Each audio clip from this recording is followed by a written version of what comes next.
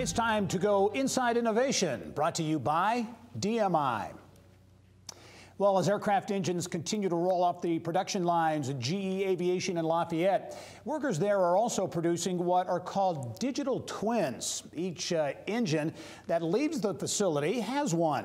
Joining me now with more on these cutting edge digital replicas, pleased to be joined by Inside Indiana business reporter Kylie Valletta. Kylie. Well, thank you, Gary. GE Aviation in Lafayette manufactures about eight engines per week for planes familiar to the average airline passenger, such as the Boeing 737. On each engine that rolls off the line in Lafayette, there are about 2,000 critical characteristics that will help determine its performance. While workers assemble the engines, they're capturing data on each of those characteristics, creating a digital twin or a computerized electronic replica of that engine.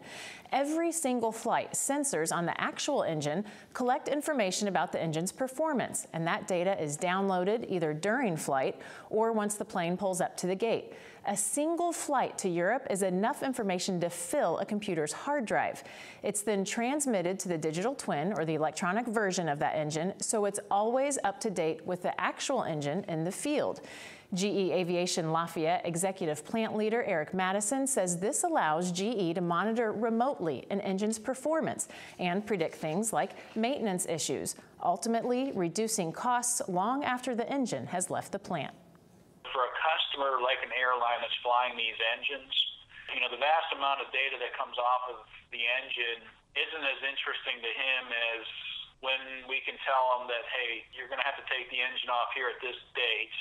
And now we can plan together so that it doesn't impact that aircraft in service or, you know, to the flying public and then we can uh, you know get a lease pool engine down there, do the swap overnight, and the plane takes off and flies the next day. So we're maximizing his asset. We're maximizing the total value proposition of his aircraft and equipment.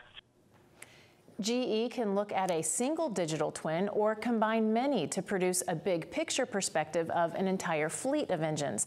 The concept is being applied across many industries. GE is working to increase digital twins for locomotives and healthcare equipment, for example.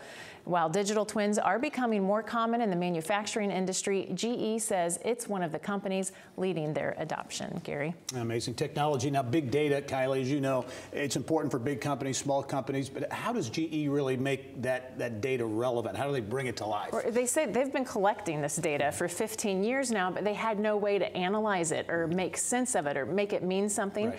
The Internet of Things has been the game changer. Now all flows freely into a single mm-hmm. database. They can do predictive analysis on it. And in fact, he said it helps humans make smarter decisions faster. All right, great stuff as always. Thanks, Kylie. Thanks, Gary.